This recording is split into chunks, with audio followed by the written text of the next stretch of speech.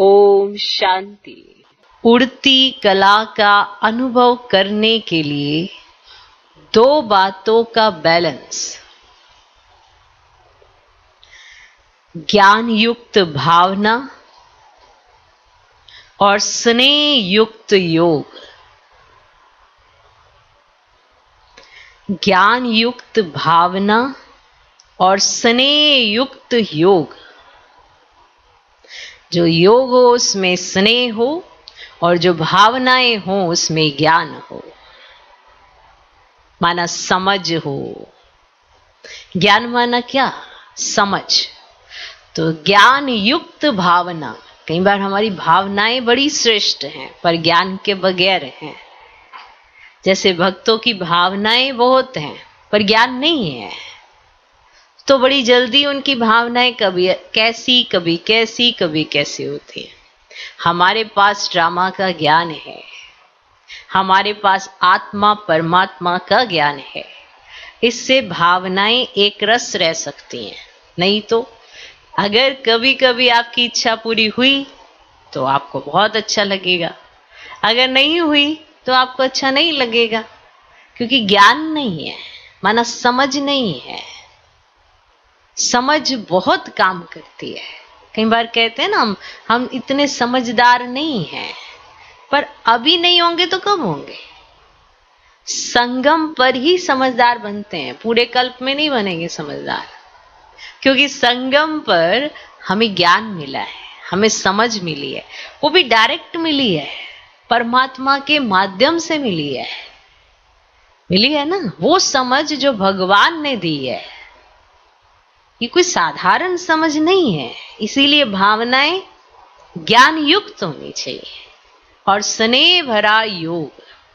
अगर आपके योग में स्नेह है और ज्ञान युक्त भावना है तो आपकी उड़ती कलाई है, उड़ती कलाई है, अगर आपने इन दोनों का बैलेंस बना लिया तो। बहुत वंडरफुल चीज़ है। आप समझना इसको। ज्ञान और योग कहा जाता है।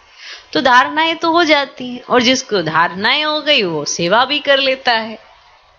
धारणाओं में अगर ऊपर नीचे है तो सेवा वो नहीं कर पाता है। कहीं ना कहीं देवान आ जाता है। तो जहाँ ज्ञान है, वहाँ योग है, क्योंकि ज्ञान माना ही समझ है। और जो समझदार है नेचुरली वो जो बाबा कहेगा, उसको अप्लाई करेगा। और जो बाबा कहे, उसे अप्लाई करने वाला कभी दिल शिकस्त हो सकता है। ये दिल शिकस्ती क्यों आती है? इसका कारण भी क्या है? ज्ञान की कमी है। योग में स्नेह नहीं है तो दिल शिकस्ती आती है। इसलिए उड़ती कला से ठहरती कला हो जाती है। इसलिए कभी चले, कभी उड़े, कभी ठहरे इस सब चीज़ों की अवस्थाएँ बनी रहती है। वरना भगवान का ज्ञान इतना सर्वोत्तम है इतनी समझ दे दी गई है कि आपकी उड़ती कला ही होगी। लेकिन अगर इन दोनों का बैलेंस नहीं है तो उड़ती कला नहीं हो सकती है। तो आज का जो सार है, इसको पहले फील कर लो कि कहा क्या जा रहा है। अगर आपको समझ ही नहीं आया तो ये पॉइंट भी समझ नहीं आएगा कि बाबा क्या कह रहे हैं। भावनाएँ रखनी है, पर ज्ञान के साथ भावनाएँ तो कोई पत्थर में भी रखता है तो उसे भी भगवान प्यार तो देता है, पर वो रिसीव नहीं कर पाता है।